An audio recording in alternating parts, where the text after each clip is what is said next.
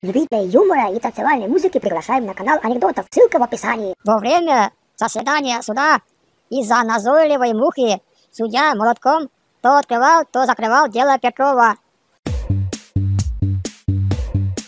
Гаишник спрашивает у деда Петрухи, почему вы превысили скорость? Дед Петруха отвечает, хотел доехать домой раньше, чем начнет действовать водка. Немцы пьют пиво, и чтобы хорошо опьянеть, нужен целый вечер. А почему наши предпочитают водку? Ну так нашим еще надо оставить время на приключения. Пришло сообщение от Билайна. Ваш баланс менее 30 рублей. Все треки деда Петрухи бесплатно на 15 дней. Вот сижу и думаю, это что, угроза? Липчико. Дед Петруха просыпается ночью на своей даче и видит, кто-то у нее ворует всю картошку. Дед Петруха берет телефон и звонит в милицию. А приезжайте поскорее, тут у меня какие-то козлы всю картошку украсть хотят. Отвечают, в данный момент машин нет, свободных выехать не можем.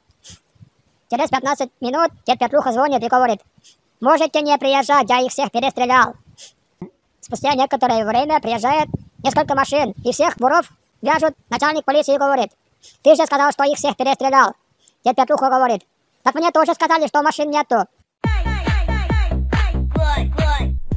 Статистикой установлено, что из каждых 200 мужчин только один бывает ростом 1 метр 90 сантиметров. Странно, почему-то, когда я бываю в кино, именно этот тип сидит впереди меня.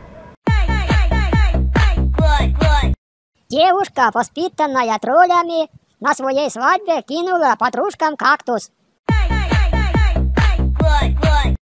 Я немного разочарован. Пришел на сайт знакомств и в строке поиска написал «Меняемая». Ответ «По данному запросу никого не найдено».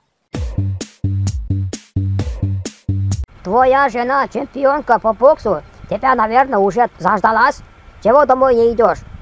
Меня домой не пускают. Кто? Инстинкт самосохранения. Бык и лев сидят, пьют пиво. В это время льву на мобилу звонит жена. Лев отвечает. Да, дорогая, да, сидим с быком, пиво пьем. Что купить? Хорошо.